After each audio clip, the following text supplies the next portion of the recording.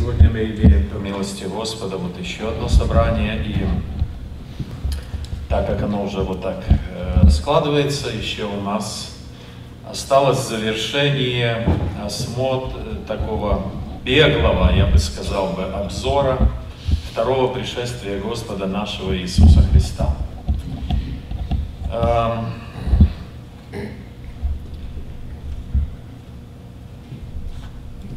Давайте мы с вами вернемся, наверное, свет перетушите, чтобы лучше было видно схема.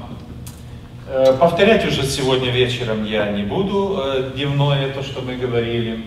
Буду прямо сразу продолжать дальше.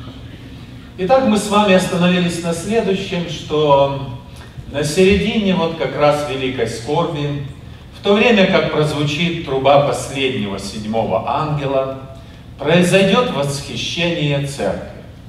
Оно будет также связано с тем, что два Божьих свидетеля, которые прямо буквально накануне, три дня перед этим, э, были убиты от, вышедшим из бездны антихристом, то есть, э, ну, это сатана, который вышел и вселился в какого-то из живущего людей, на тот момент из живущих людей, естественно, что служащих сатане людей – сатана вселится. И вот он убьет этих двух Божьих свидетелей, и они тоже воскреснут, будут вознесены э, Господу на небеса. Это вот событие, оно совпадает практически по времени. Восхищение церкви.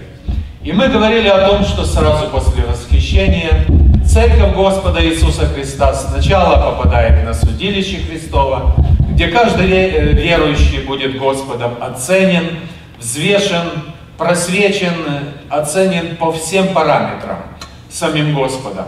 И после судилища Христова, когда будет подведен итог э, верующей жизни каждого верующего человека, тогда начинается брачный пир, это радость, торжество, праздник вместе с Иисусом Христом.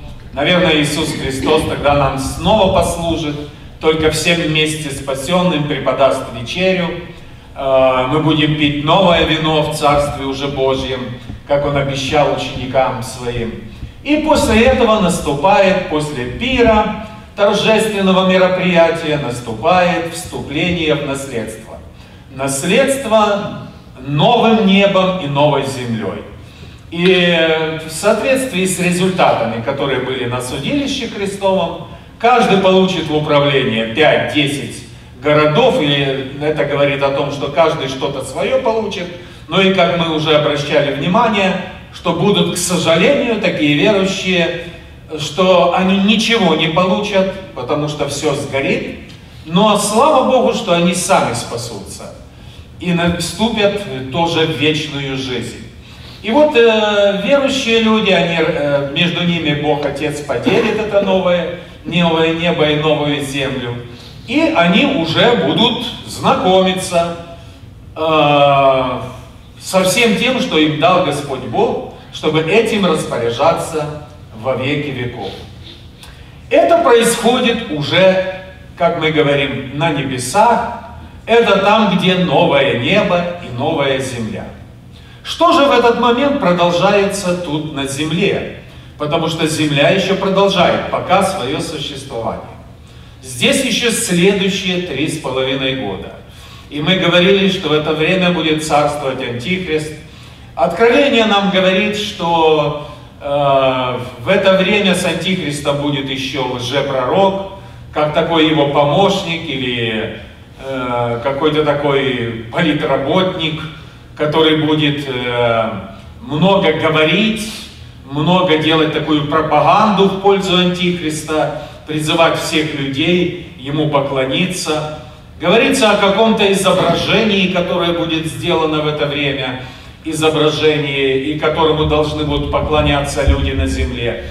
И кто не поклонится изображению Антихриста, тот будет убит. Написано так, сделает лжепророк. Э, это, наверное, оно тоже идет подражание двум Божьим свидетелям.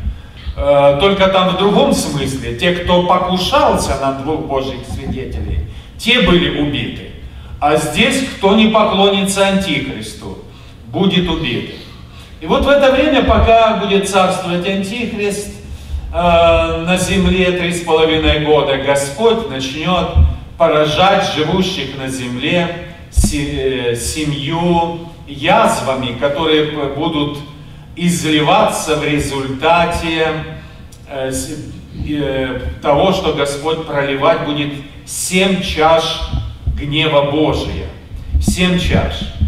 А, я подробно не останавливаюсь на семи чашах. Вы можете об этом прочитать сами в книге Откровения. Вот. И мы с вами о чем еще больше обратим внимание. Первое, что хочу э, обратить внимание, что в это время уже на земле совершенно нет Святого Духа. Если здесь он взялся от среды, но оставался в мудрых, которые оставались на земле все же еще, то здесь, когда мудрые восхищены, на земле уже вообще не осталось Духа Святого, который сошел на землю в день Пятидесятницы. И здесь, конечно, будет очень страшна духовная ситуация на земле. Духовная страшная, страшная она будет и в плане морально-нравственном. Потому что грехи здесь будут царствовать вовсю. Всякий грех будет махрово расцветать, просто буянить во всем человеческой жизни. Здесь в это время жизнь людей, она приблизится, приблизится к этой оценке, как это было перед потопом, что всякая путь, всякая плоть извратила путь свой на земле. Господь Бог говорил во время перед тем, как истребил первый мир водами потопа. И помышления сердца человеческое были злыми перед Богом во всякое время. Представляете, каждую секунду. Ни, ни, ни один человек по-доброму ни одну секунду не мыслил. Вот такое было духовное состояние. Так оно будет в это время. Все помышление, все действия, они все будут богопротивны. Это ужасная будет атмосфера все, ну, для всех живущих людей на земле. Неразумные девы, которые не имели масла, они не берутся вознесение, они остаются. И когда вот в этот момент происходит вознесение церкви, а, они в этот момент, видя это, видя, что это вознесение проходит мимо них, то есть они не возносятся, а их братья и сестры возносятся. И вот в этот момент как раз и исполнятся слова Христа, который, говорил, который он говорил, что двое будут при жерновах вместе, один берется, другой оставляется. Двое будут вместе в одной постели, и один берется, другой оставляется. Двое будут в церкви вместе в одной, один берется, другой оставляется. И Господь здесь не кого-то будет из нас спрашивать, кого взять, кого не взять. Он сам будет это судить. И судить по состоянию, кто мудрый, кто неразумный. И неразумные, конечно, которые уже и перед этим отчаянно искали, как можно исправить состояние, никак не могли. Вот в этот момент они увидят восхищение своих братьев сестер, которые оказались готовыми и мудрыми. О, как они возобьют! Это и будет то, что, о чем написано в 25 главе Матфея, что «Отвори нам, и мы тоже». Христос говорит об этом, помните, на горной проповеди. Они скажут, Господи, Господи, так ты же и на наших улицах, мы же тоже были в этих церквях, в этих собраниях. Так чего ты нас не возьмешь? Мы тоже участвовали в этих служениях, и через нас являлась Твоя благодать. Но Господь скажет слова вот в этот момент – он скажет им слова. Не знаю вас. Откуда вы? Э, не знаю вас, это означает не то, что Бог не знает человека. Ну нет. Конечно, Он знает, перед Ним каждый человек как открытая книга. Бог знает все дела человека, все, все слова человека. Бог знает все мысли человека, все побуждения сердца знает Бог. Но здесь Он имеет в виду, не знаю вас, что я не жил Духом Святым в вашем сердце. Знаете, когда Дух Божий, Дух Святой живет в нашем сердце, то тогда, живя в нашем сердце, пребывая Духом Святым, Он нас познает. Как написано, познал Господь своих. Э, и, друзья мои, когда Он нас живет, Он тогда нас познает, живя в нас. Он познает всю нашу сущность, Он познает наши слабости, Он познает и наши проблемы, но Он познает нас вообще со всех сторон. И все наши переживания, все наши мечты, все наши желания нашего сердца, устремления, Он нас познает изнутри, живя в нас Духом Своим Святым. А если в ком Он не жил, то Он говорит, я тебя не познал, ты для меня чужой, поэтому я тебя с собой не беру. Свое вот время, вот этого вот второго, э, во время вознесения церкви. И неразумные остаются, слышат эти слова. Э, я думаю, что это не будут слова, сказанные с неба, громко, отойдите, не знаю вас. А это будет то, что прозвучит в духе. Это то, что прозвучит в сердце. В ответ на их отчаянные э, пожелания вознестись вместе с мудрыми. И они остаются на второе, вторых три с половиной года на время правления Антихриста. И с одной стороны, конечно, здесь очень печально, и как бы можно было бы сказать, ну все, конец, поставлен крест. Для них пропало все, и нет никакой надежды. Но вы знаете, когда мы дальше читаем Откровение, когда мы читаем внимательно дальше, что происходит дальше с этими немудрыми девами, оставшимся на время правления Антихриста, то вдруг обнаружено удивительное. Господь, оставивший их и не взявший вместе с мудрыми, Он все равно обращается к ним лицом. И Он дает им шанс для спасения. Только этот шанс теперь заключается для них всех без исключения в одном. Они должны будут не принять начертание, которое Антихрист будет ложить каждому из живущих людей на земле на правую руку или на лоб. И если они, невзирая даже на все мучения, и даже на то, что каждому не принявшему начертание должно будет принести, перенести мученичество, если они на это пойдут, то они будут спасены для вечной жизни. О, какой милующий Господь! Как часто мы поступаем по-другому. Мы выбираем лучшее, самое хорошее, как сегодня передо мной брат проповедовал, самое то, что по-моему, потому это все так, а остальное можно списать. Оно же не соответствует. А у Господа не так. У Господа принцип для спасения не исключающий, а по максимуму включающий. И как написано в Ветхом Завете, еще написано о Божьей благодати. Господь Бог помышляет, как бы не отвергнуть и отверженного.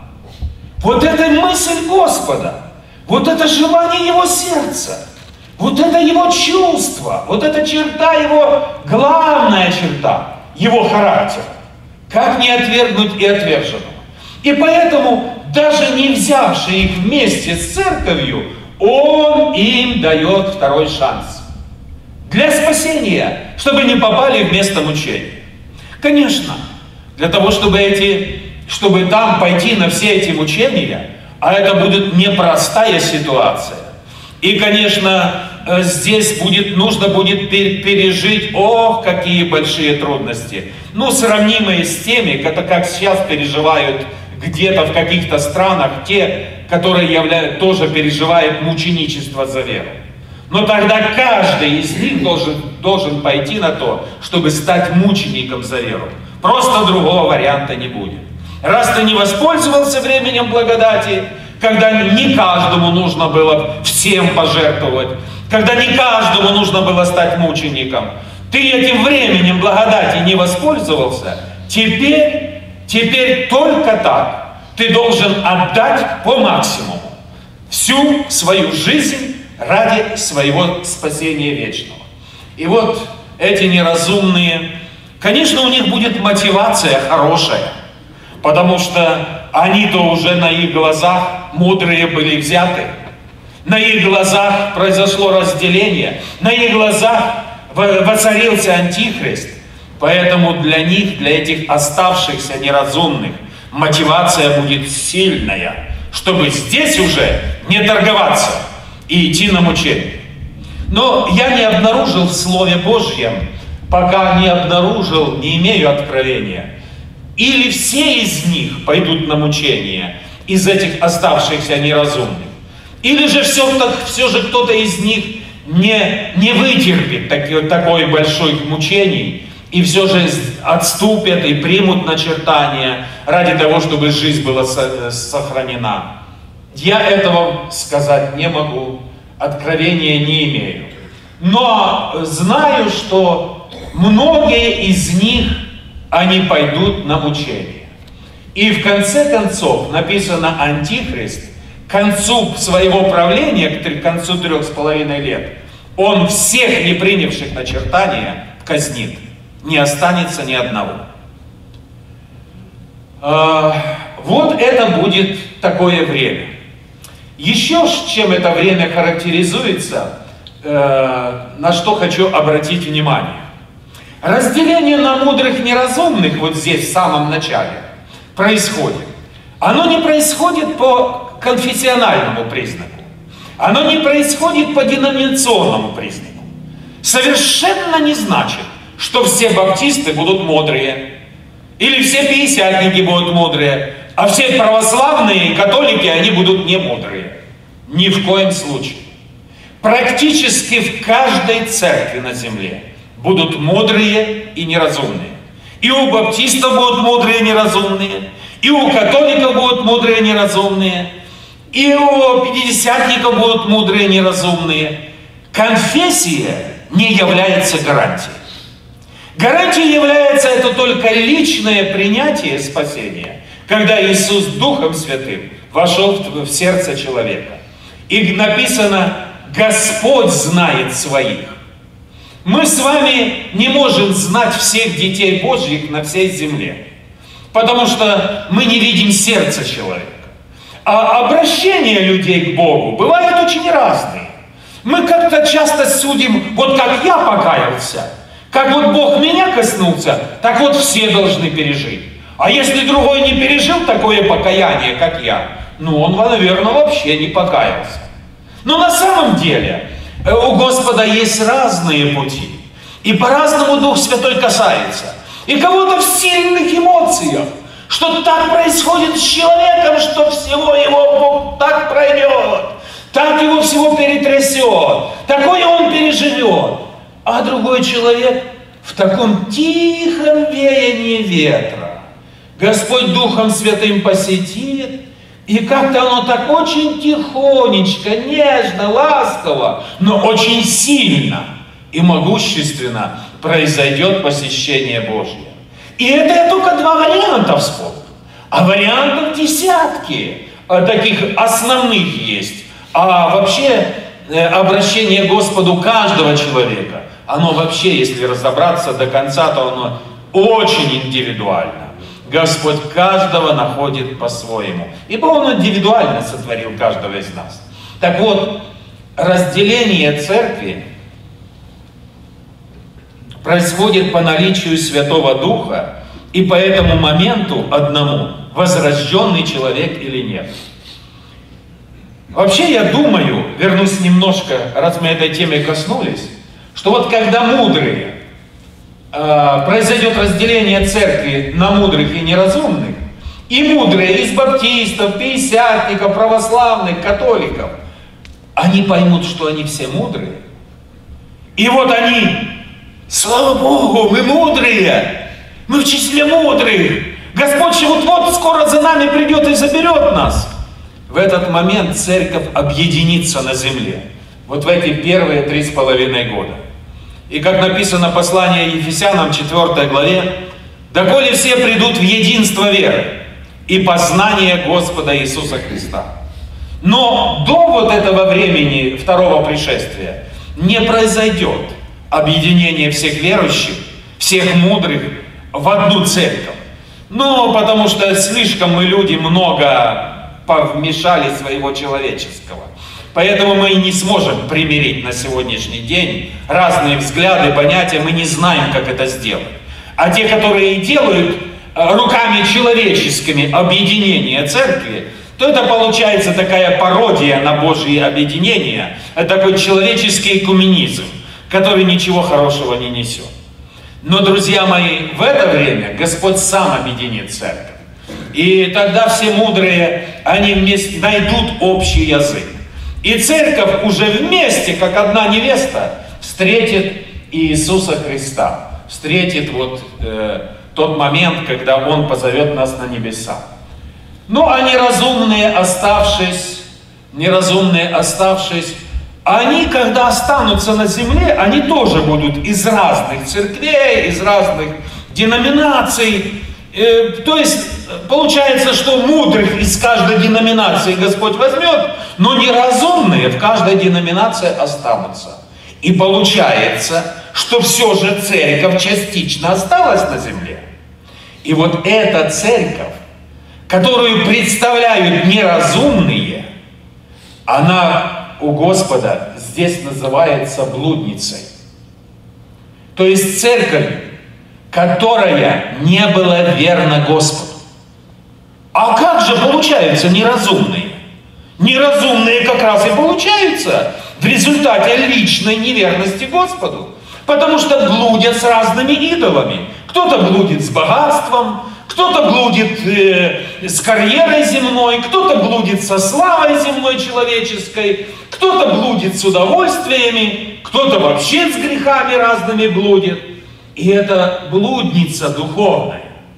И вот эти все неразумные, они фактически являются с точки зрения Божьей, они являются представителями той части церкви, которое сблудило перед Господом, было неверно ему. И вот, когда мы читаем Откровение, то Антихрист на эту церковь ополчится, и он эту блудницу разорвет, разорвет на части. То есть он ее уничтожит. Ну, фактически так и произойдет. Все эти неразумные, почему они стали неразумными? Потому что они дорожили этим земным. Для них это все временное было важное, поэтому они до конца сердца свое Господу не отдали. Поэтому они Духа Святого не слушались. И вот когда придет это время, придет это время, сатана, он вообще с церковью покончит на земле, антихрист. И вот каждому из этих неразумных будет еще Господом дан шанс. То есть с одной стороны, сатана им антихрист не дает по-человечески шанса, потому что всех их убивает. Но с другой стороны, это же самое явление. Когда тебя убивает антихрист, если ты в этот момент неразумный, оказываешься верным и все равно не принимаешь начертания, жизнь я плохо прожил, Господу был неверный, блудил духовно и так дальше. Но в этот последний момент хочу быть верным до конца пойду на смерть. И Господь говорит, и вот это твой последний шанс. Когда Антихрист с тобой будет расправляться, если этот момент ты окажешься верным до конца, то это момент для того, чтобы ты обрел спасение.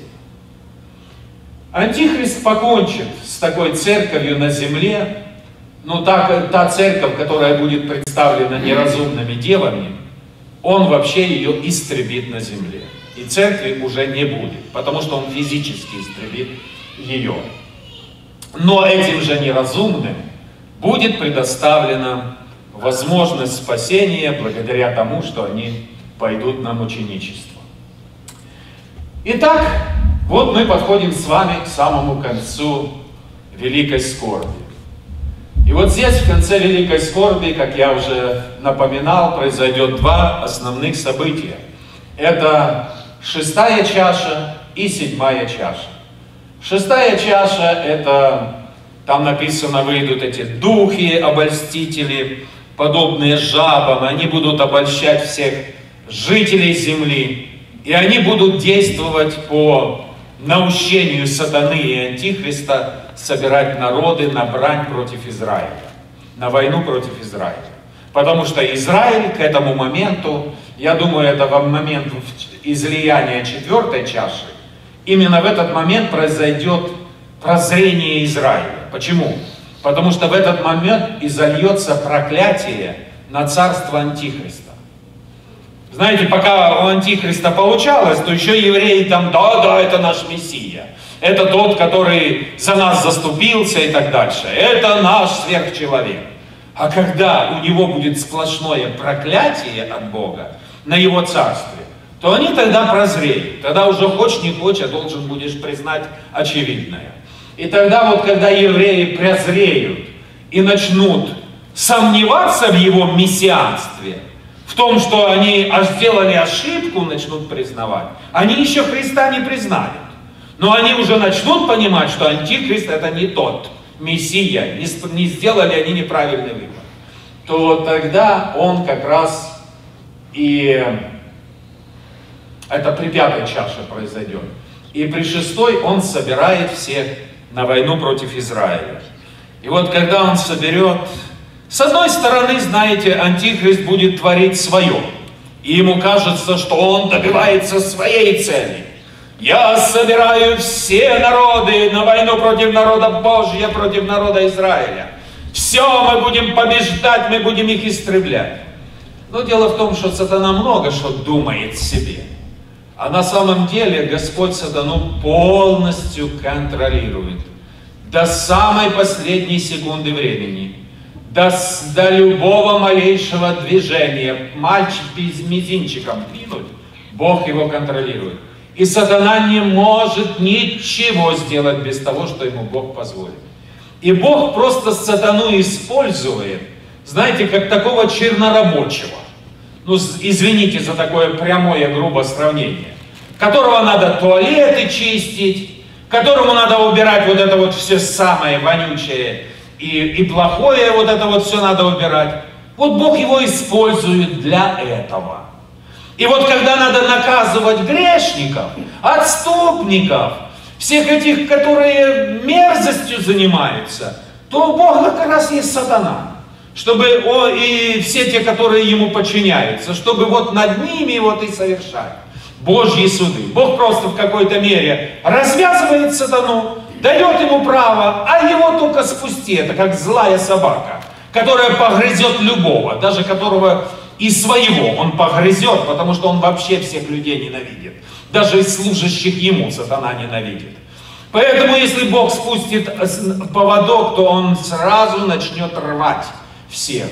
И вот Господь в какой-то мере спускает этот поводок для того, чтобы совершить определенные Господом суды.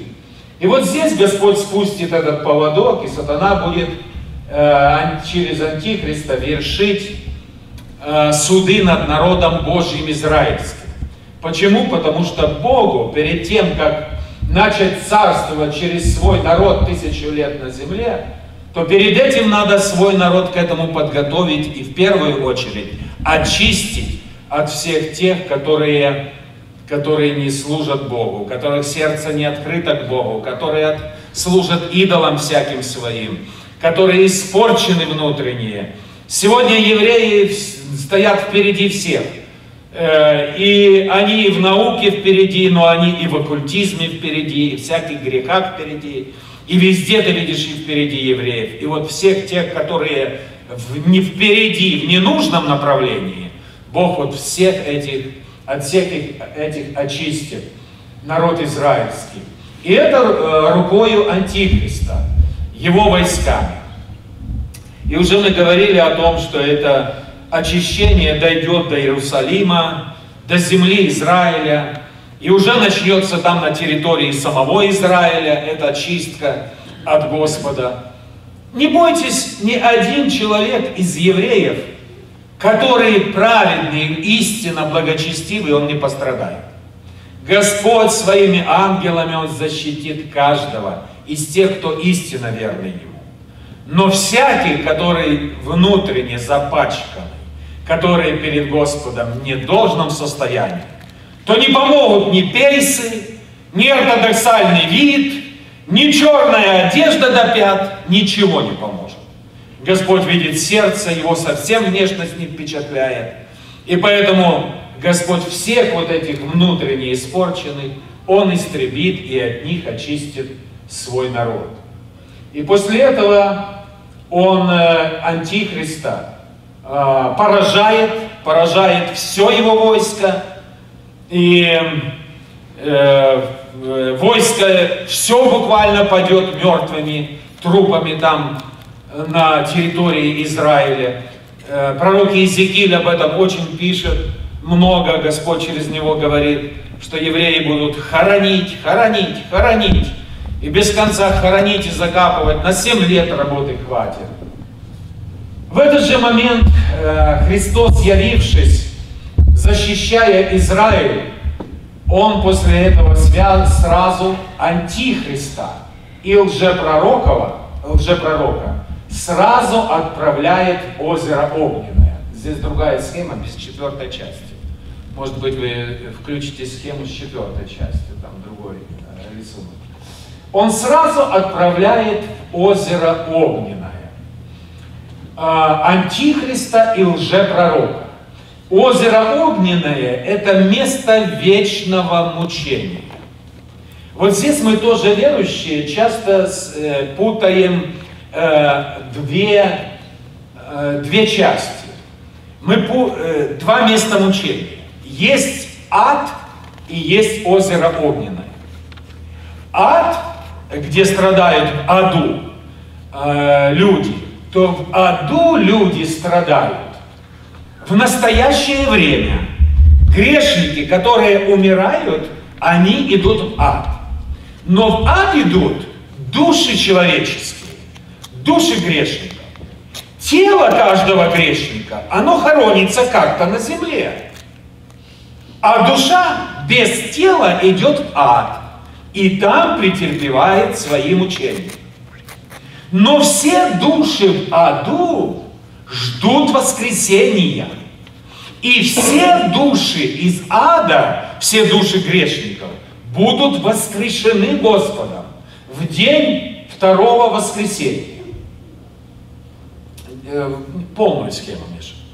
Потому что а, да, потому что не смогу показать. Да, вот будет день второго воскресения, самый конец истории. И вот здесь все души из ада, из, написано там, мы читаем 20 глава Откровения в конце, воскреснут из ада, воскреснут от смерти и воскреснут из моря. Море, ад и смерть это три разные места пребывания грешников, душ грешных людей. Я не знаю, что это такое, я только понимаю, что это три разных места, и что сегодня души грешников пребывают в этих трех различных местах, которые называются ад, это там, где конкретные мучения, смерть, но она больше выглядит как черная мрачная бездна, и какое-то некоторое море. Это не море обычное не Тихий океан, а это, а это какое-то место, где пребывают души человеческие. И вот из этих трех мест воскреснут души в это второе воскресенье. И получается, что ад – это временное место мучения. И оно только для душ человеческих. Но когда души человеческие воскреснут, вернутся в свои тела, в том числе из ада, они все явятся пред судом, пред великим белым престолом. И будут судиться, находясь в своих вечных телах. И вот кто будет осужден перед судом на великим белым престолом, он будет брошен в озеро огненное уже в теле, в новом вечном теле. И вот здесь уже озеро огненное, вот это место вечного мучения. И здесь люди будут мучаться и в телах, и в душах своих. Вот здесь вот часто происходит вот это смешение понятий.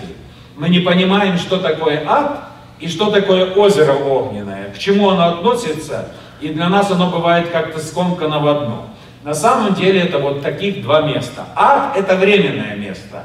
Озеро Огненное – это место вечного мучения. Итак, антихрист и лжепророк, и вот этих два человека, в которых будет пребывать сатана и дух дьявольский, они будут с момента битвы Армагеддон, перед началом тысячелетнего царства, они будут сразу брошены в место вечного мучения. Фактически они первыми попадут туда. Антихрист и лжепророк. Еще никто не попал в это место вечного мучения, они первые туда пробьют дорогу. Сатана же будет скован Господом на тысячу лет и помещен в какую-то определенную Божью тюрьму. И у пророка Захарии Господь говорит, вместе с сатаной я уберу всякого нечистого духа с земли. То есть у сатаны, что есть еще много бесов. Это мы ну, должны понимать, что вот Бог, Он вездесущий. Бог одновременно везде присутствует. Но это качество только одного Бога. Сатана не может быть в одно время во всех местах. Сатана не вездесущий. Сатана может со скоростью молнии передвигаться, но в каждый отдельный момент времени он только находится в одном месте. В одном месте. И то, когда сатана действует одновременно во многих странах, во многих местах Земли, это он действует через своих слуг, через демонов. И демоны есть разные, разного ранга, есть генералы, есть офицеры, есть небольшие начальники, есть просто рядовые бесы-демоны. И вот сатана через них искушает фактически всех людей. И вот он создает такой эффект своего везде присутствия через то, что у него есть столько много слух, столько много бесов-демонов. И вот они везде исполняют эту волю сатану, подходя к тем или другим людям. Фактически каждый раз, когда нас искушает грех, мы искушаемся нечистым духом. Вот, вот то, что было записано э, для нас, вот эта самая первая история искушения Евы и Адама, оно повторяется постоянно. Всегда, когда согрешает человек, неверующий или верующий, момент согрешения всегда стоит дьявол, но только не всегда сам сатана, часто его вот эти слуги, нечистые духи. Так вот, вместе с сатаной нечистые духи будут убраны с земли и помещены в какую-то Божью тюрьму. И вот в этот момент для земли начнется особенный период, тысячелетнее царство. Это будет нечто необычное, друзья. Здесь, на земле, в истории мира. Здесь я хочу отметить следующее. А, здесь, а вот у меня здесь, по-моему, есть. Отмечено. Да. Смотрите, вот здесь вот эта линия времени. Коротенький такой отрезок. Вот здесь первое. Две тысячи лет от сотворения от того, как, после того, как мир был сотворен, до потопа. Приблизительно 2000 лет. От потопа, от потопа до Христа тоже 2000 лет. От Христа первого пришествия до второго пришествия тоже 2000 лет. А помните, что пишет апостол Петр? У Бога один день, как тысяча лет. И тысяча лет, как один день. То есть, что получается? От сотворения мира до потопа 2000 лет это два дня Божьих. От потопа Миша пропала. От потопа до Христа, до Христа 2000 лет, Божьих два дня. От первого пришествия Христа до второго 2000 лет, Божьих два дня. Всего получается шесть дней, шесть дней рабочих мировой истории. И нас ожидает седьмая тысяча лет, это Божий шаббат, Божья суббота на земле. Друзья мои, это вообще поразительно. Будет на земле тысячелетнее царство, прошу общую схему, будет на земле тысячелетнее царство, это будет на земле шаббат без сатаны и без нечистых духов. О, это будет удивительное время. Об этом очень особенно много пишет пророк Исаия. Ему Духом Святым было открыто об этом. Он, в частности, пишет такие известные моменты, когда он пишет о том, что, э, что хищники, а, они перестанут быть хищниками. Все хищники, и львы, и тигры, и волки, и крокодилы, все станут травоядными. Лев будет кушать траву и солому. Друзья мои, более того, комары не будут кусаться. Ком... Людей не будут кусать. Вообще даже и насекомые перестанут быть хищниками. Будет такой мир вообще на земле, что ребенок, написано, будет спокойно играться со змеей. И, и скорпиона будет гладить и на своей руке просто вот так вот рассматривать. И он его никогда ни разу не укусит в эту тысячу лет. Вы представляете, какой будет мир на земле? А, люди, э, все животные, они перейдут, как было сотворено от начала, на растительную пищу. А если мы помним, помним Бытие, первая глава, то тогда от начала, от сотворения, Бог всему животному миру дал траву для, для пропитания, а человеку дал злаки и плоды деревьев. И вот в тысячелетнее царство вот к этому вернется. Люди, мы все, кто останутся на тысячелетнее царство, тысячу лет будут вегетарианцами.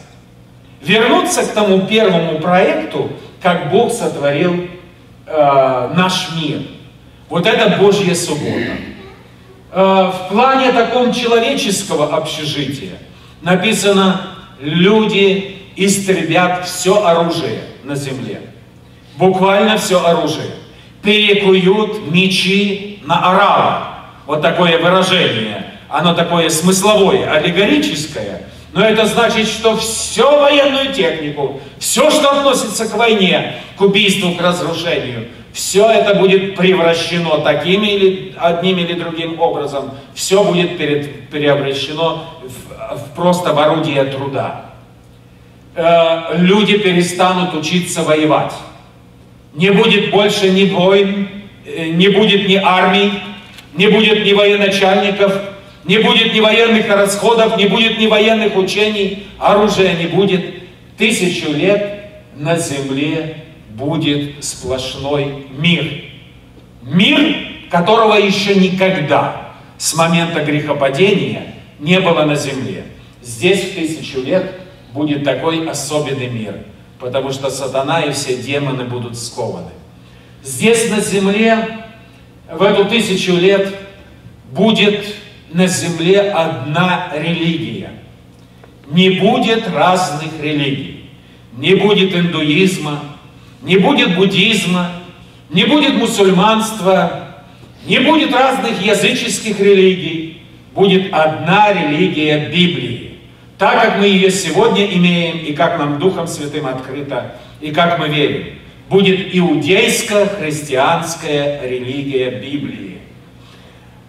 Во главе поклонения будет Иерусалим, Иерусалимский храм. Все народы должны будут приходить в Иерусалим один раз в год на поклонение Господу. Другими словами, от всех народов земли, от всех государств должна быть один раз в год официальная делегация Господу в Иерусалим. И они от своего народа, от своей страны должны будут совершить поклонение Господу. И если какой-то народ – какая-то страна отнесутся легкомысленно и как-то типа забудут, не разберутся, кто же из нас пойдет, и не, совершит, не совершат этого официального поклонения, после этого сразу в их стране наступает засуха. Нет дождя, нечего кушать. Ну, конечно, они спасутся, другие им помогут, но это им будет сразу знаком свыше.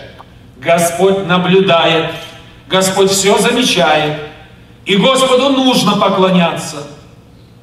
В этот момент на горе, на горе Сионе, там, где будет стоять храм Иерусалимский, постоянно будет присутствие Господа.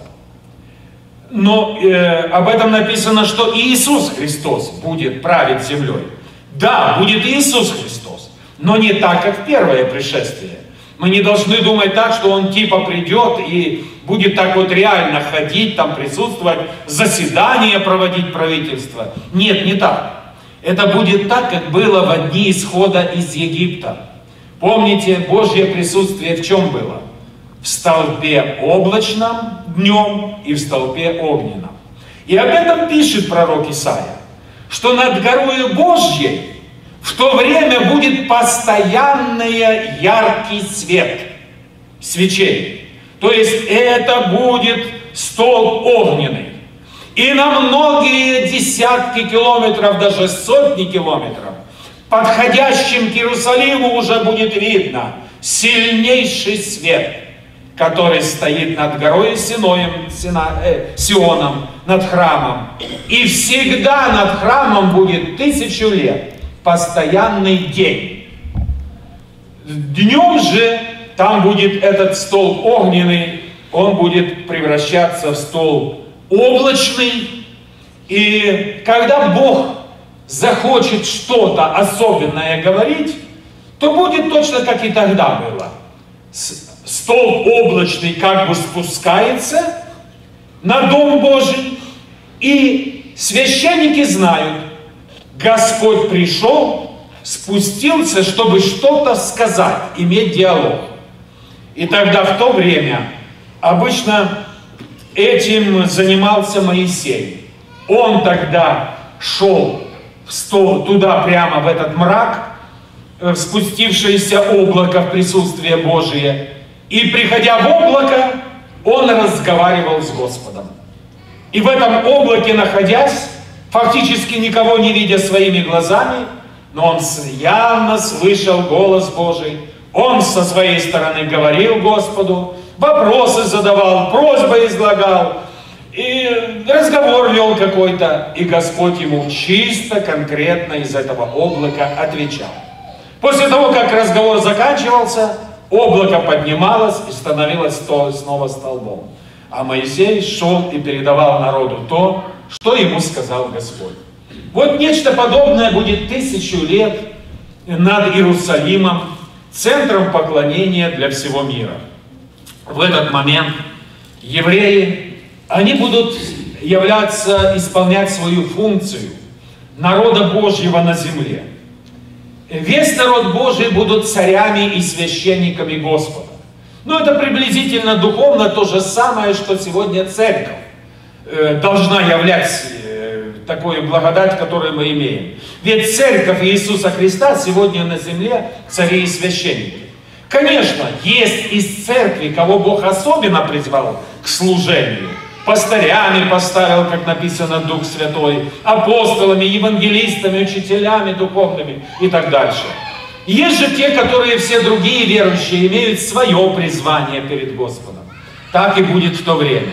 Будут те, которые служить Господу, как особенно предстоящие священники, учителя народа, будет весь остальной народ израильский. Все евре... евреи, основное их задание будет и в Иерусалиме, и по всему миру. Те, которые будут жить там в земле обетованной, э, э, там вот именно в Иерусалиме и в Иудее, то они будут принимать паломников. Паломников будет такое множество эту тысячу лет – и постоянно умножающее множество, потому что за эту тысячу лет будет умножаться количество людей на земле.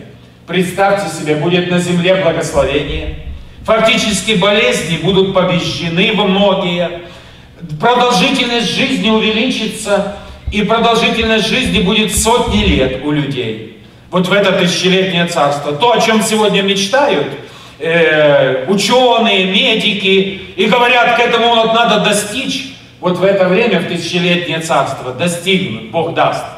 Э, тогда написано у пророка Исаии, все же грех будет присутствовать на земле. Потому что все же природа наша человеческая грешная.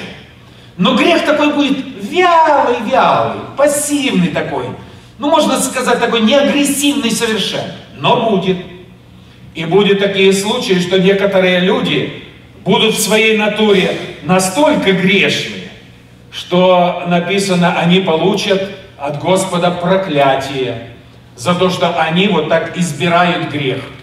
И написано, если вот такой человек грешный получит проклятие, его жизнь сократится до ста лет. Представьте себе, вот это проклятие, жизнь сократится до ста лет. А сколько же будет благословенная жизнь? Сколько сотен лет? Но э, просто написано как дни дерева. Я думаю, что это жизнь, которая будет приближаться и 300, 400, 500 лет. Э, потому что вообще-то на Земле есть деревья, которые тысячи лет растут. Но, по крайней мере, сотни лет это будет точно. Так вот, э, евреи, э, количество людей очень умножится на Земле. Из-за хороших условий жизни, из-за той экологической чистоты, которую Бог, Бог сделает после всего этого, Он почистит землю во время великой скорби. Условия будут, знаете, везде стопроцентная экология, э, греха не будет, э, последствий греха не будет, грешники, которые будут такие вот, они сразу будут наказываемы Господом и народом, и вы знаете, будет такой удивительный мир, количество населения будет возрастать небывалыми темпами. И вот народ Божий, израильский, должен будет все народы земли учить познанию Господа, учить Библии, Слову Божию, учить, как правильно поклоняться Господу, учить, как правильно вести себя в разных ситуациях, учить, как так, чтобы в твоей жизни всегда было угождение Господу, ты ходил пред Господом, и Господь был доволен. Народ, на народе израильском будет вот эта задача.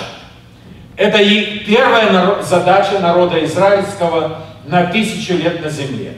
Евреи будут жить, конечно, в основном в Израиле, и в том числе в Иерусалиме, но евреи будут жить по всей земле. Даже когда мы читаем у пророков, мы видим и в Откровении, что не все евреи со всего мира переедут в Израиль до, до этого момента. Многие останутся. И э, не произойдет полного переселения в Израиль со всех народов. И Господу это надо, чтобы евреи, которые остались в разных народах, они тоже там пребывали, и как уже народ Божий этого времени, они там учили познанию Господа, каждый в своей земле, где живет. Кроме этого, эту тысячу лет будет единая в мире экономика, глобальная экономика. И этой экономикой будут править евреи. Но они будут править не так, как сегодня. Сегодня евреи, Бог им тоже уже отдает всю экономику мира все в их руки. Но многие из богатых евреев – чрезвычайно жадные. И они только думают, как богатеть, как деньги собирать, золото собирать, драгоценные камни собирать, еще больше безмерно богатеть, всех обирать и так дальше. И они не думают о своем предназначении. Бог же дает богатство. Не для того, чтобы я стал богаче, богаче, богаче, богаче, богаче, миллионером, миллиардером и так дальше. А Господь дает богатство богатым, чтобы они этим богатством служили всем остальным. Правильно распределяли, правильно его применяли. Для, для общего счастья, благополучия всех людей. Помните, как Иов написано, угодивший Богу, богатый человек? Как он говорит, не было ни одного человека бедного, который бы ко мне пришел, и чтобы он не получил все необходимое возмездие на свою нужду. Он от меня каждый уходил, а благодетельственный по полной программе получал все, что нужно. Вот в то время евреи так будут, как подобно Иову, владеть богатствами всего мира. Они будут ими владеть, но они будут очень справедливо перед Господом распоряжаться этими богатствами для благословения всех людей на земле, а не просто, чтобы всех обобрать. Вот это будет удивительное время. В это время будет глобальное мировое правительство. Я не знаю, какая она форма будет, но я так подозреваю, не имея такого прямого откровения, но думаю, что это будет что-то похожее на Организацию Объединенных Наций. Но это будет не, не сегодняшняя Организация Объединенных Наций. Не буду ее критиковать и трогать. Но, друзья мои, там будет истинное объединение наций.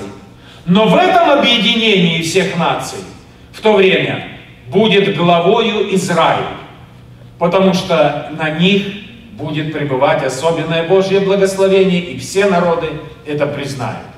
На эту тысячу лет Израиль будет во главе всех народов и в религиозном плане, и в политическом плане, и в экономическом плане. На эту тысячу лет Израиль будет во главе всех народов. На земле будет удивительная жизнь. В это время, после всех, после того, как все на земле, вот это, что сегодня люди построили, такого извращенного, э, греховного перед Богом, Бог вот эту цивилизацию, которая в 17, 18 главе Откровения называется сегодняшняя цивилизация, называется современным Вавилоном перед Господом. И вот этот Вавилон, эта сегодняшняя цивилизация, он будет истреблен Господом э, при конце э, великой скорби. И здесь начнется строиться совсем другой мир. И знаете, Господь, все, когда Бог уничтожит эту цивилизацию, которая сейчас, достижения науки, достижения разума человеческих хорошие, во благо, они останутся. И вот когда начнется тысячелетнее царство, люди начнут не быть мудрыми во зло, а только мудрыми на добро. Мудрыми не для того, чтобы создать оружие уничтожения, а мудрыми для того, чтобы создать благополучие всякое, удобство для жизни. Мудрыми не для того, чтобы деньги заработать и отравить все вокруг. Главное, что я деньги заработал. А мудрыми как так зарабатывать, чтобы при этом всем не повредить природе, чтобы при этом всем не нарушить экологический баланс этого мира, который Бог создал. Вы знаете, люди начнут творить, пользоваться всеми достижениями науки, но только на благо, только в мирных целях и только на добро. Вы знаете, мир начнет так преображаться, когда все усилия, вся мудрость человеческая, все способности, что Бог дал всем людям, когда все это начнет работать на добро. Вы знаете, Господь в эту вот седьмую субботу в тысячелетнее царство. Господь людям покажет, что бы могло бы, какая бы у вас могла бы жить, быть жизнь на земле, если бы вы сначала бы меня слушались. Если бы вы исполняли заповеди Божьи, если бы вы ходили моими путями, как бы вы могли жить шесть тысяч лет перед этим? Вот вы узнаете в эту тысячу лет. Это будет такой разви, раз, расцвет человеческой цивилизации – которое все будет во благо и на добро. Но вы знаете, хоть я это и понимаю, но я туда не хочу. Я хочу быть вознесенным вместе с церковью и в это время уже делить новое небо и новую землю. Что мне до тысячелетнего царства? Это для тех, которые туда не попали, в число церкви, в число детей Божьих. Вот тем такой как бы кто прошел через великую скорбь и все же остался, это такой утешительный бонус здесь на земле эту тысячу лет. Перед началом тысячелетнего царства происходит еще одно событие. Написано это Откровение 20, 20 глава. Произойдет воскрешение всех тех, которые не приняли начертание. И это воскрес... воскресенье называется первым воскресеньем.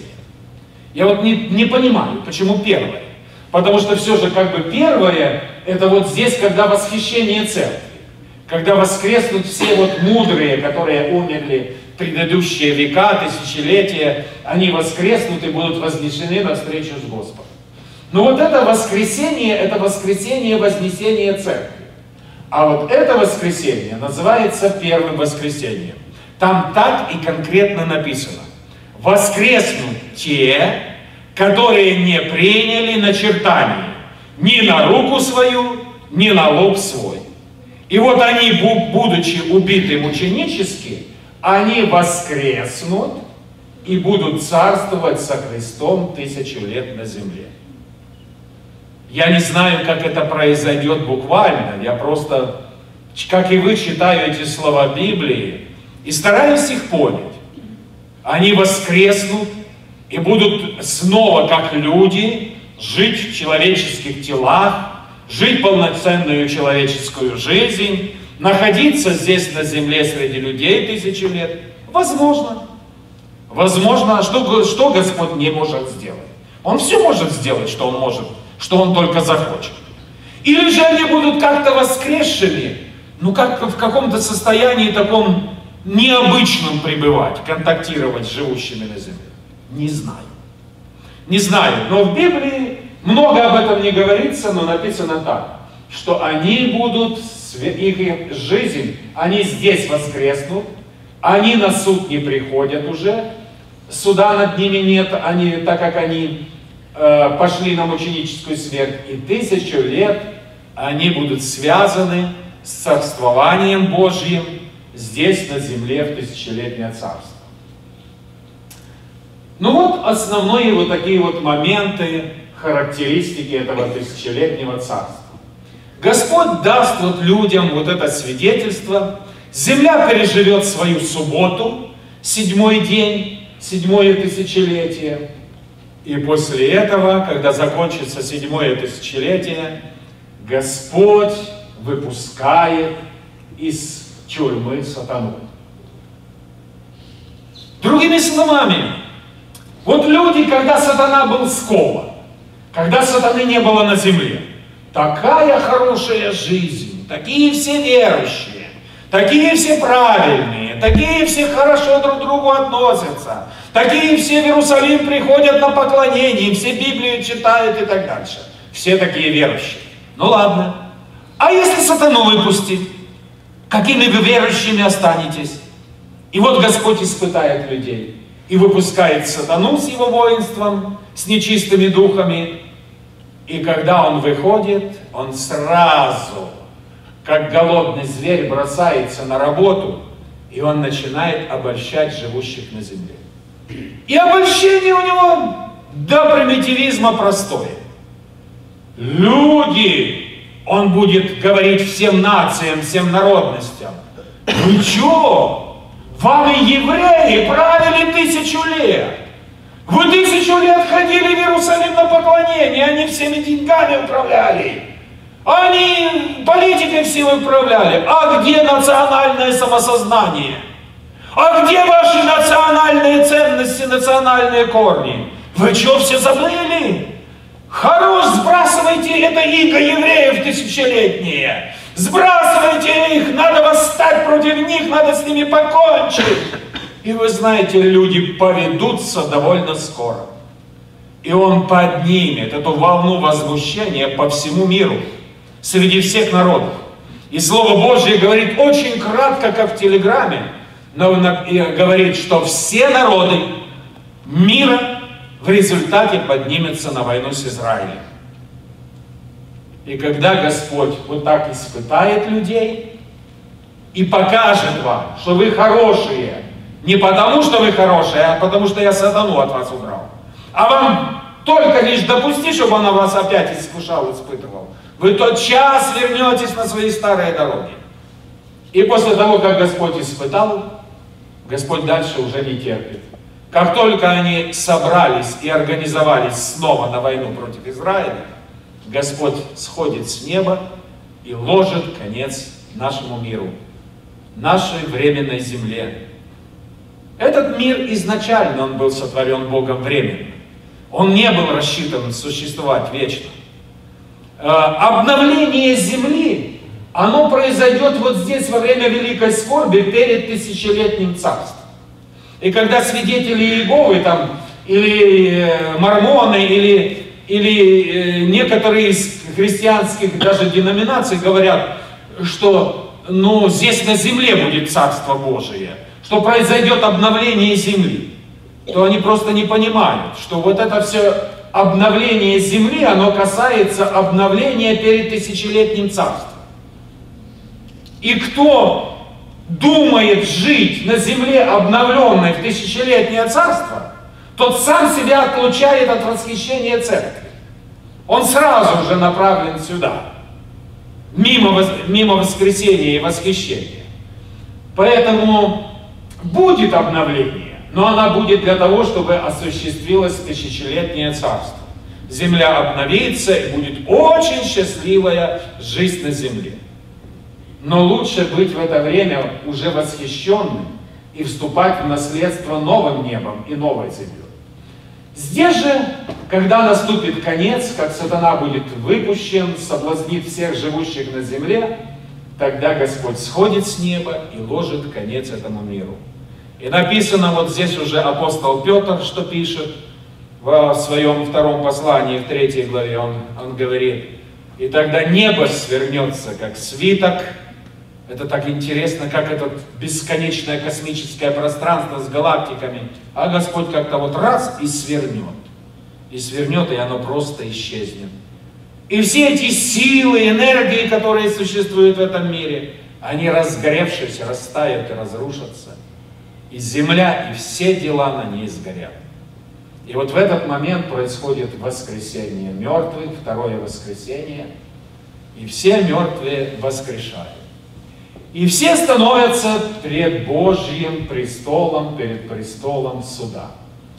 В это время э, Церковь Божья, дети Божьи, вместе со Христом спускаются и судят мир.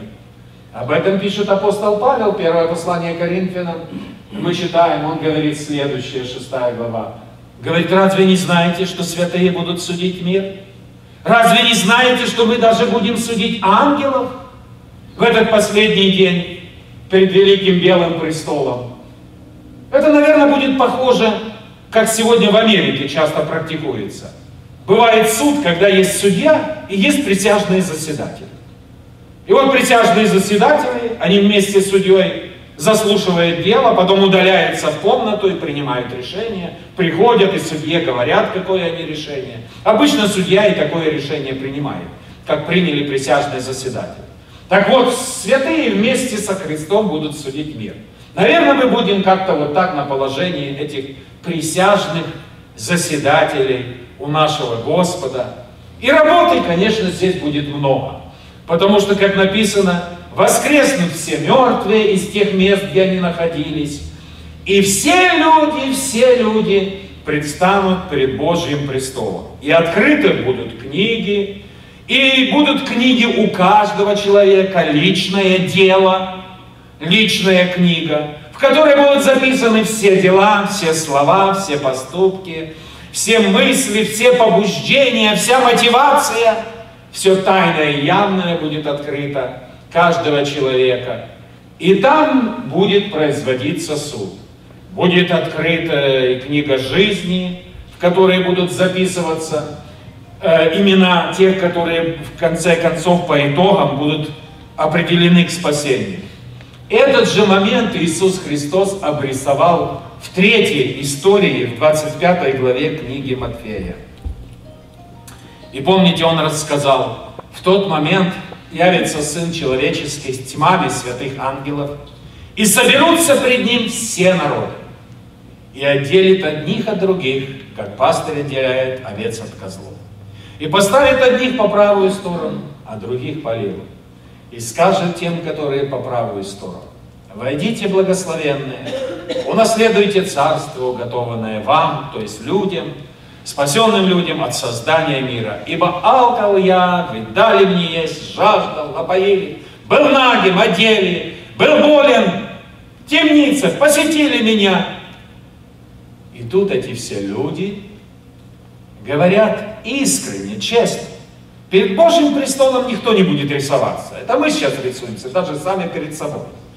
Себя оправдываем. А там каждый будет понимать честно. И они говорят, Господи, да где ж мы видели Тебя? Да мы ж Тебя, извини, прости, не служили. А он говорит, знаю. Но то, что вы сделали одному из меньших, то вы сделали мне. Я засчитываю вам всякое доброе дело. Я засчитываю, как сделанное лично мне. И дальше он говорит, другим поворачивается и говорит, а вы, проклятые, идите в огонь вечный, уготованный дьяволу и ангелам его, ибо алкал я вы не дали мне есть, жаждал, не напоили, был странником, не приняли, в темнице, в больнице не посетили, а они говорят в отчаянии, Господи, да где же мы тебя видели, ты бы явился нам, открылся, показался, мы бы тебе сразу поверили. Он говорит, нет. Я от вас не требую этого, потому что я действительно не являлся. Вот такой, такой мой был план. Не показываться воочию. Но у вас были ближние, в нуждах, и вы прошли мимо этого. И то, что вы не сделали своим ближним, вы не сделали мне. И написано вот после этого, одни пойдут в жизнь вечную, а вторые пойдут в муку вечную. Вот этот суд, где разделяется на э, овец и козлов, на правую и левую сторону, это не церковь. Верующие на этот суд не приходят. Христос говорит, верующие в меня на суд не приходят. Это не про верующих. На этом суде верующие придут только как судящие вместе со Христом этот мир. Это не про верующих, это про все, весь остальной мир. Всех остальных людей, которые воскреснут во второе воскресенье. Вы знаете, чему я удивляюсь?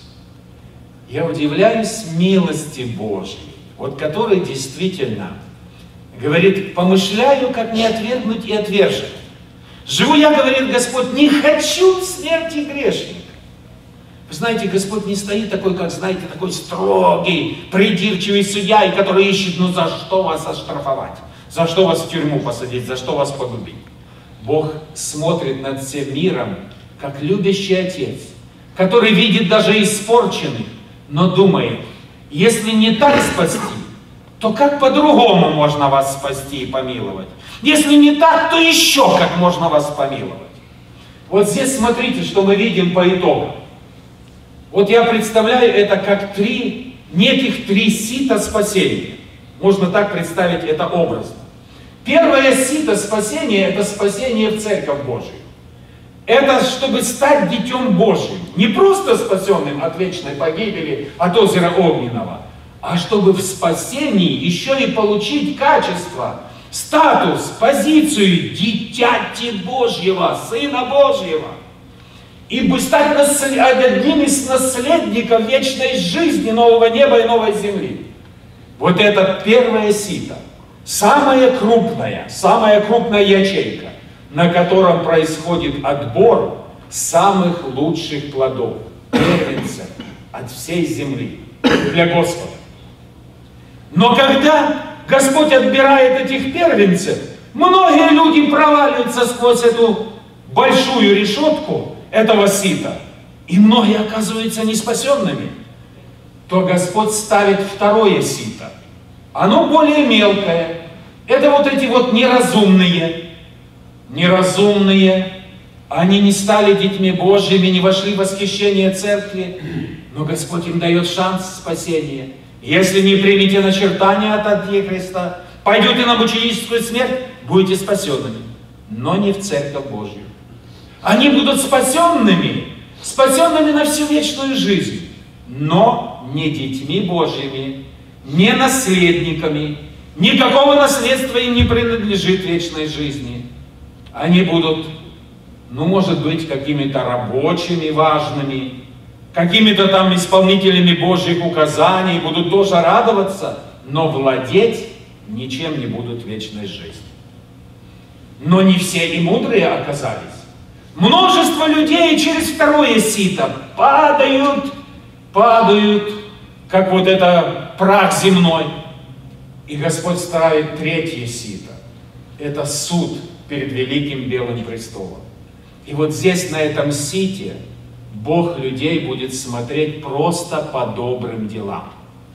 Если человек сделал доброе дело, то даже, как говорит Христос, если кто чашу холодной воды вам даст во имя ученика, истинно говорю вам, не потеряет награды своей. Но только добрые дела Бог будет определять по своим критериям, не по нашим. Знаете, мы какие-то бываем такие добрые, как Христос говорит. Если вы добро делаете делающим вам добро, какая вам за то награда?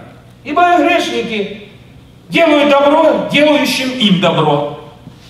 Если вы любите любящих вас, которыми у вас хорошие отношения, вы хорошо понимаетесь, какая вам за то награда? Ибо и грешники любящих их любят. Если вы взаймы даете человеку, и при этом рассчитываете, что он вас, вам отдаст то, что вы ему даете взаймы, и даже вы ему переспрашиваете, ну ты мне отдашь? Ну ты мне отдашь, ты гарантируешь мне отдашь? Я могу тебе поверить, что ты мне отдашь. То тебе за это награды никакой нет. Потому что это не считается добрым делом. Когда ты я даю, и при этом ожидаю, что мне обязательно отдастся. Так Христос говорит, не я говорю. Друзья мои, да, еще, брат говорит, с процентами хотят еще даже, а про это вообще недоброе дело, это бизнес свой личный, а тут нечего говорить. Друзья мои, Господь будет добрые дела проверять по своей категории. И знаете, когда посмотришь по Божьей категории, хок, наши дела добрые сразу половинятся. И хорошо, если вообще от 100% 10% останется. А у кого-то даже и 1%. Потому что по-божьему все это недоброе, а все это такое взаимовыгодное сотрудничество. Ты мне хорошо делаешь, и я тебе хорошо. И ты со мной хорошо, и я с тобой хорошо. Это не то, это не доброе дело, друзья мои. Ну, это не грешно, но это не засчитывается, как и доброе дело. Поэтому Господь будет проверять по своим критериям. Поэтому даже пройти через третье сито, с одной стороны, будет непросто, но с другой стороны, конечно, конечно, многие спасутся. Я как-то, когда нас Бог позвал на миссионерское служение, э, и в 89 году мы стали проповедовать в Сибири, там, в глубинке России, в таких местах, где я просто был в шоке. Я что родился в Бресте, Западная Беларусь, Украина, там верующих так порядком даже было в советское время. А когда мы приехали туда, то люди, когда слышали от нас Иисус Христос слова и первую проповедь, нам молодые люди приставали, покажите фотографии.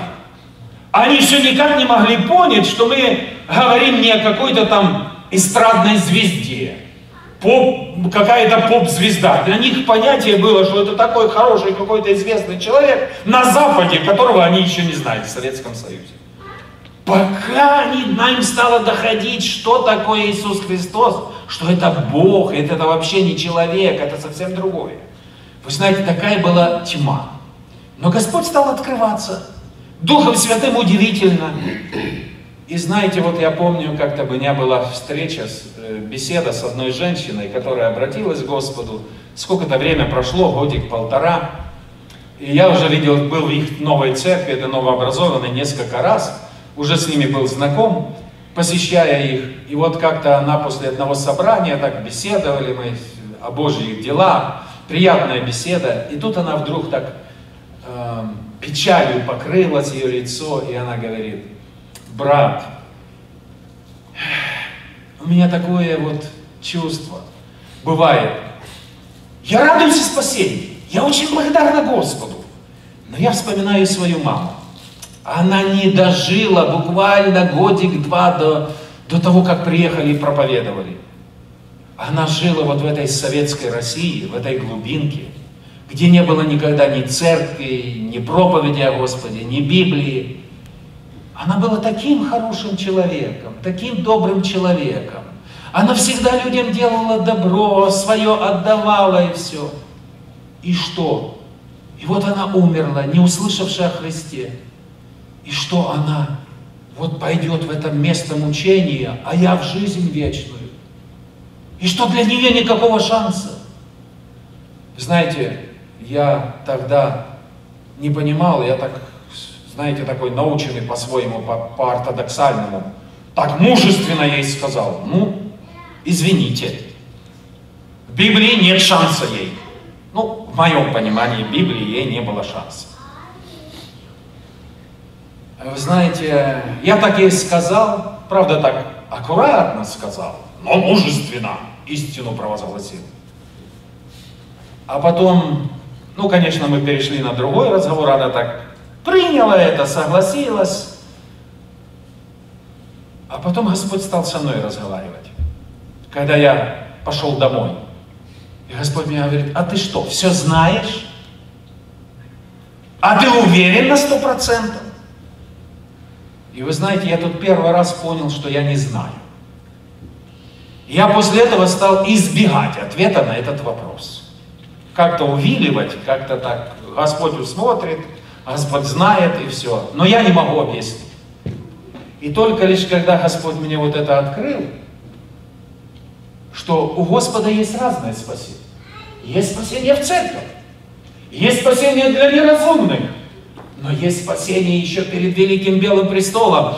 Там все же люди, которые не слышали о Господе, они же предстанут. И как Павел говорит, вторая глава римлянам, будут судиться в соответствии с делами своими. И Господь им менит свою смерть за их грехи, потому что Он уже пострадал за грехи всего мира. А если они со своей стороны поступали по совести, хоть они жили в такое время, не могли слышать Евангелие, то Господь их спасет. То когда Господь мне это открыл, то я сегодня спокойно говорю, не переживайте за ваших родственников, которые не слышали о Господе. Потому что если они жили по совести, то они будут спасены перед Божьим судом. Потому что Господь увидит доброту, Господь оценит доброту, и Господь добрых людей здесь спасет. И будут они в числе спасены. Ну, только не будут в числе детей Божьих но будут спасены. Вы знаете, я вот удивляюсь этой милости и благодати Божьей. Он не только выбрал самых достойных, самых верных, а всех остальных не нужны мы плохие. А Господь дает еще шанс, и еще шанс дает. Такой добрый наш с вами Господь. Я радуюсь этой милости Божией. Кстати, именно об этом Христос говорит три последние притчи в 13 главе Матфея, когда притча о Царстве Небесном. И помните, там первая притча из последних трех говорит, Царство Небесное подобно человеку, который узнал, что на поле есть сокровище. И чтобы приобрести это сокровище, он идет, продает все, что имеет, приобретает это поле, а вместе с ними сокровище. Вот это спасение по вере на сегодняшний день. Мы должны поверить. Нам неизвестно это сокровище. Мы не знаем, что там вечную жизнь на самом деле, да? Не видел того глаз, не слышал ухо. Но мы верим. И ради этой веры мы отрекаемся от себя. Мы умираем для себя, а для своих понятий верою принимаем Иисуса. Берем Его жизнь в Иисусе, поле это, и мы приобретаем Вместе с этим сокровище, новое небо и новая земля. Спасение по вере. Есть сразу идет вторая притча. Купец, ищущий хороших жемчужин. Вроде бы похожая притча, но здесь какая разница? Этот купец знает, что ему надо. В первом случае человек не знает, что за сокровище. А здесь уже знает, чего он ищет. Он ищет жемчужину. И при том небольшое сокровище, а одну жемчужину. Мне надо найти одну жемчужину. Вот это неразумные, которые, решившись войти вместе с мудрыми и наследовать сокровища Небесного Царства, они, эти неразумные, думают об одном, как бы спастись. Вот эта жемчужина, это просто спасение вечную жизнь. И им надо тоже продать все, что имеешь, В данном случае им надо будет даже пойти на мученическую смерть, ничем на земле не дорожить, вплоть до смерти своей, до своей жизни не дорожить. И вот тогда ты приобретаешь эту жемчужину, вечную жизнь. И последняя притча, Христос говорит, небо, который заброшен в море и вытянул всех рыб из этого моря. И на берегу сели и перебрали. Хорошие в сосуды, а плохое выбросили вон. И тут же Христос говорит, так будет при кончине века. Вот здесь, при самом конце.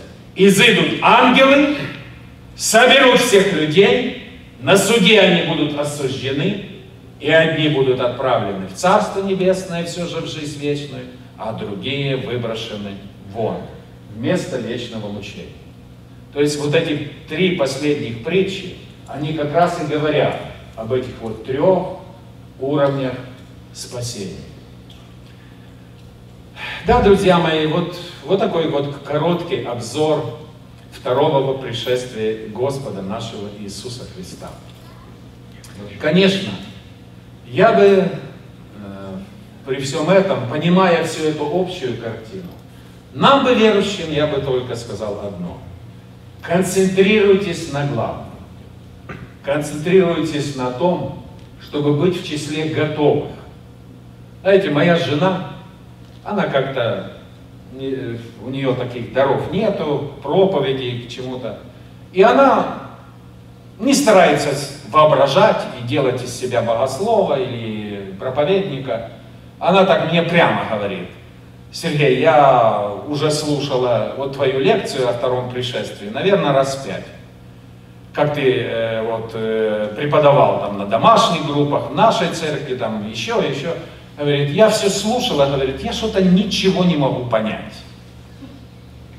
Так просто искренне говорит. Э, ничего не могу понять. И я никому даже близко не могу пересказать. Но потом мне говорит, но я знаю одно. Э, мне нужно быть готовым. И если я буду готова, я наследую самое лучшее. Я говорю, ты абсолютно права. Ты можешь и ничего не знать из этой картины второго пришествия. Но если ты будешь готовой, то тогда будешь в числе мудрых. Тогда войдешь в восхищение церкви. Тогда Господь оценит твой труд и твое служение и жертвенность. И все равно даст тебе вечное наследство. И ты будешь ликовать во веки веков и обладать и все. Поэтому самое главное, это быть просто готовым. Братья мои и сестры, я бы хотел, чтобы все, что мы говорили с вами, оно побудило нас к готовности. И я буду совсем не удовлетворен, если просто кто-то возьмет себе в голову новые знания, а дальше будет жить так, что фактически не будет ожидать пришествия Господа. Будет здесь на земле жить и мозгами, и сердцем, и всем укорененным в этой земле то толку из того, что вы все это услышали. Я считаю, что это напрасно я потратил время, вам говоря. Но если вы возьмете после этого серьезно ваше сердце, и вы начнете вести так жизнь, чтобы действительно готовиться вот к этому всему и к тому, чтобы оказаться в самом лучшем первом уровне, ну тогда я не зря говорил эту, эти проповеди, вел эти беседы. Потому что именно для этого Бог нам и открывает эти познания. Ну вот, у меня все. Молимся. Молимся Господу.